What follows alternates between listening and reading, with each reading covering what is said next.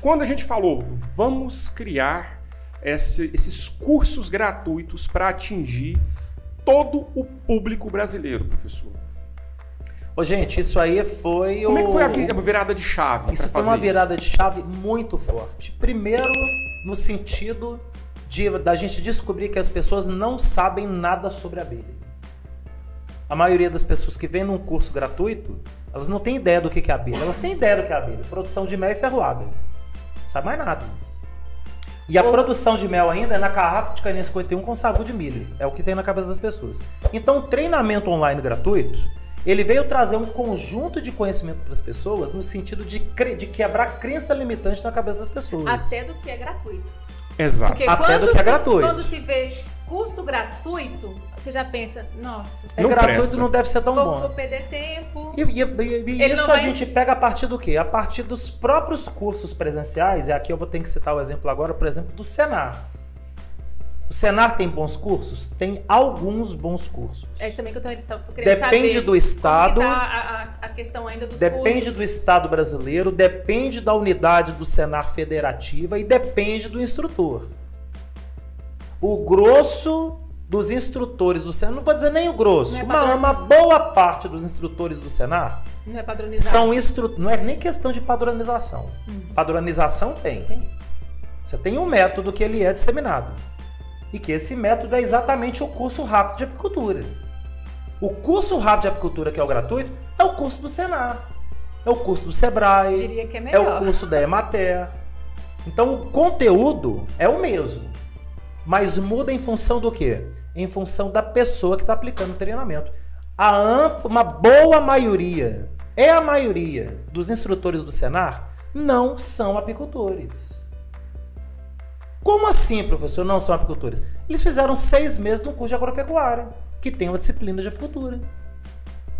Ele terminou um curso agropecuário, ele faz uma prova de seleção do Senar, ele tem que ter um conhecimento ali de apicultura de seis meses ou um ano, ou de um curso, curso tecnólogo de dois anos como apicultor, que tem os cursos de pós-graduação, Uhum. tecnólogos, ou ele fez um curso de agropecuária e tem ali o diploma dele como técnico agropecuária, com a grade de apicultura. Ele passou na prova, ele vira instrutor do Senar. Ele aplica o curso? Aplica. Ele consegue passar o conhecimento? Consegue. Básico do básico do básico. O curso é gratuito? Gratuito. Então daí que vem a ideia de muitas vezes de que o curso gratuito ele não vai atingir o resultado.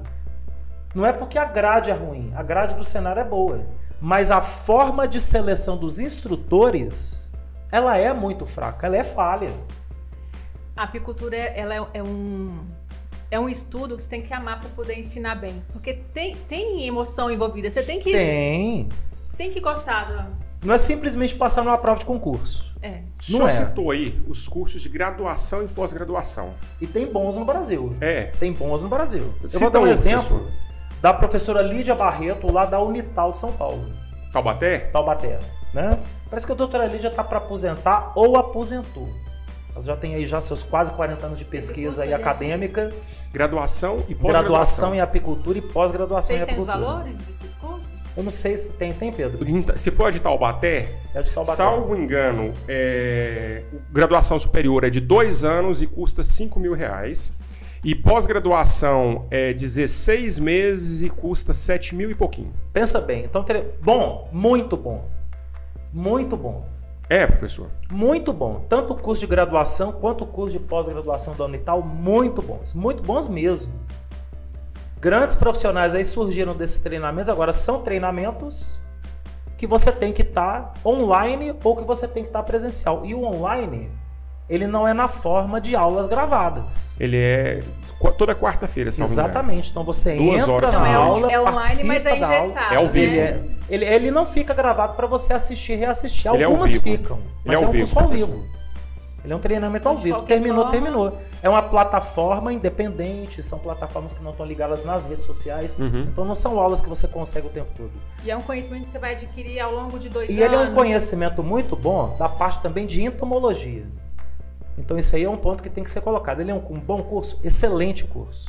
Para você conhecer tudo de abelha. Ele fala mais de abelha do que de apicultura. E tem diferença. Uhum. Porque uma coisa é você falar da abelha. Você falar da biologia da física. abelha, você falar da ecologia da abelha, você falar da- do desenvolvimento da abelha no dia a dia. Isso é estudar a abelha. Estudar apicultura é estudar apicultura enquanto o quê? A prática daquele trabalho que você tem com o animal para te dar resultado de produção. Isso é apicultura. Sim. Então a turma, por exemplo, que estuda abelha sem ferrão. Uhum. Às vezes estuda espécies de abelha sem ferrão que produz 5 ml por ano.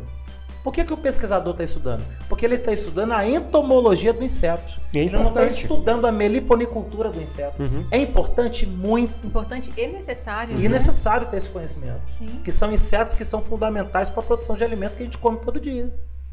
Agora, a prática da apicultura, a prática da meliponicultura voltada para a produção de mel é abordado, mas não é o foco. Então tem essa questão dos cursos de graduação e pós-graduação que existem no Brasil. Mas esse curso da Unital é muito bom. Cursos- A doutora Lídia, ela já fez várias matérias no Globo Rural, no Globo Repórter.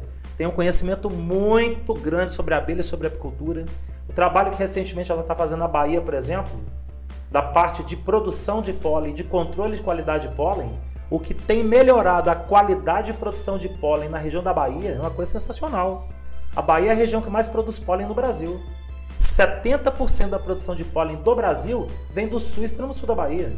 Vende coqueiros, professor? Coqueiro. Coqueiros, né? E coqueiro. Eu imaginei que fosse mesmo. O trabalho que ela está fazendo ali para melhorar a qualidade desse produto, poxa, um tempo atrás eu comprava pólen da Bahia. O pólen que chegava da Bahia dava 3, 4 meses, começava a- a nascer o ovo de traça no pólen. Então terrível, você colocava o pólen no pote, dava ali 3, 4 meses, eclodia um ovinho da traça, E o corozinho saía o corozinho andando no meio do pólen. Pô, isso chegou, chegou eu vender pólen até para consumidor. Pô, menino, mas deu coró no seu pólen. Puta merda, como é que pode trem desse? Hoje isso não acontece mais. A gente tem que valorizar. Melhorou muito a qualidade do baiano. as pes- os pesquisadores, os estudiosos. Eles têm que existir para a gente poder produzir Apicultura melhor. é ciência, Jangelite. Apicultura Só- é ciência.